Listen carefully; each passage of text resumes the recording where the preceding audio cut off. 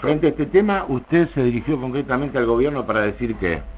Bien, nosotros habíamos presentado dos pedidos de informe, uno para ver qué era esto de Hinchadas Unidas Argentina, esta suerte de fundación benéfica que, los barra bravas quieren hacer justamente para terminar con la, la violencia en el fútbol, obviamente cuando son ellos quienes son los principales actores de la violencia, esto fue en febrero, y al jefe de gabinete para que nos diga si el gobierno nacional utilizaba partidas públicas para el financiamiento del viaje de estos barcos al Mundial. Como no teníamos respuesta y se venía el Mundial, la semana pasada nos dirigimos al ministro del Interior. Le dijimos, bueno, díganos por carta eh, qué es lo que se hizo, si se tomó alguna medida para impedir, para obstaculizar, para tratar de trabar el viaje de estos barrabrados al Mundial y este, si no es así, usted es responsable. La verdad que tampoco teníamos respuesta, pero la respuesta llegó por la vía de los hechos. Nosotros le decíamos en la carta, todavía hay tiempo, y el viernes pasado la imagen de los barras subiendo ya al mismo avión de la selección argentina, sentados a metros de Lionel Messi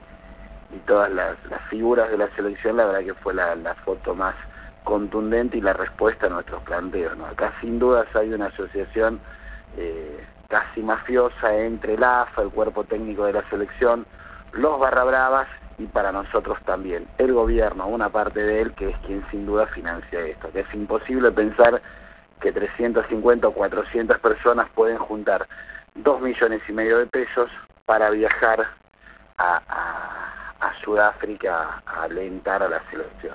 Bueno, hasta el momento, ¿es silencio de radio de parte del gobierno en este tema o no? Mire, yo anoche en un programa de televisión me crucé con el subsecretario o el secretario de, Seguridad Deportiva en la capital federal, Paladino, es el único que ha salido a hablar, a decir que ellos hacen controles, pero de, la primera línea del gobierno nadie, absolutamente nadie dijo una palabra.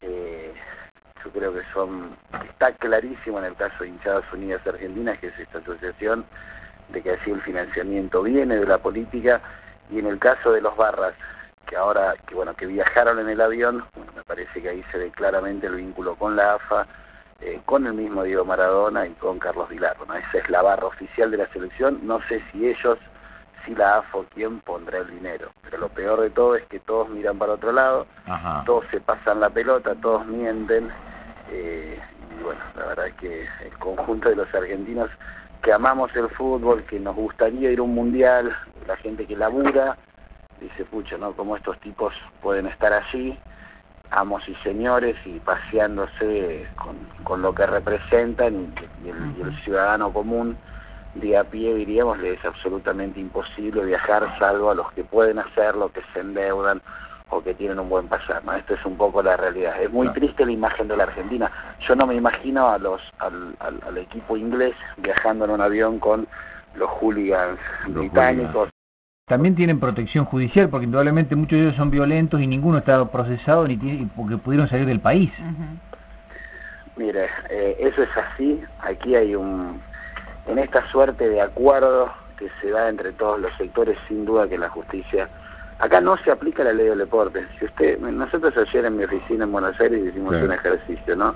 Recorríamos la ley del deporte, cada uno de los artículos, y la verdad es que es muy clara y es muy contundente en cuanto a las penas para quienes integran las barras, para los directivos que las apañan, para los que generan espectáculos, en, para los que generan desórdenes en los espectáculos, para los que llevan armas.